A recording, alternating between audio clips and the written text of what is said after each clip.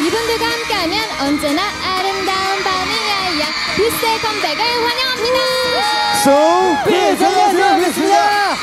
네, 정말 오래 기다린 이번 앨범 소개 좀 부탁드려요. 아, 네. 저희 이번 앨범 Midnight Sun은요.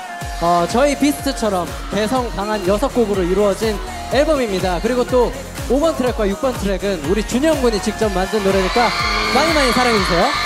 어, 얼마 전에 서울에서 가장 야경이 아름답다는 광화문 광장에서 여인들과 열광적인 밤을 보냈다는 제보가 들어왔어요. 어떻게 된 네네, 일이죠? 저희 비스트가 광화문 광장 앞에서 4천여 분의 정말 아름다운 미인분들을 모셔놓고 아주 뜨겁고 아름다운 밤을 보냈습니다. 와. 와우. 네, 광화문을 열광시킨 노래 저희도 살짝 들어볼 수 있을까요? 네. 저희 타이틀곡은요. 별이 빛나는 아름다운 밤이야야. 뭐 이런 내용인데 네. 어, 굉장히 좀 신나요. 네. 신나요. 네, 비스트의 노래를 들어보니까 빨리 무대가 보고 싶네요. 어, 하나 씨 빨리 만나고 싶어요? 네. 아, 그럼 밤하늘의 별처럼 빛나는 비스트의 무대 지금 바로 만나보시고요. 이어서 섹시하고 프리한 싱글남 슈퍼주니어의 무대부터 만나보시죠. Music! Start!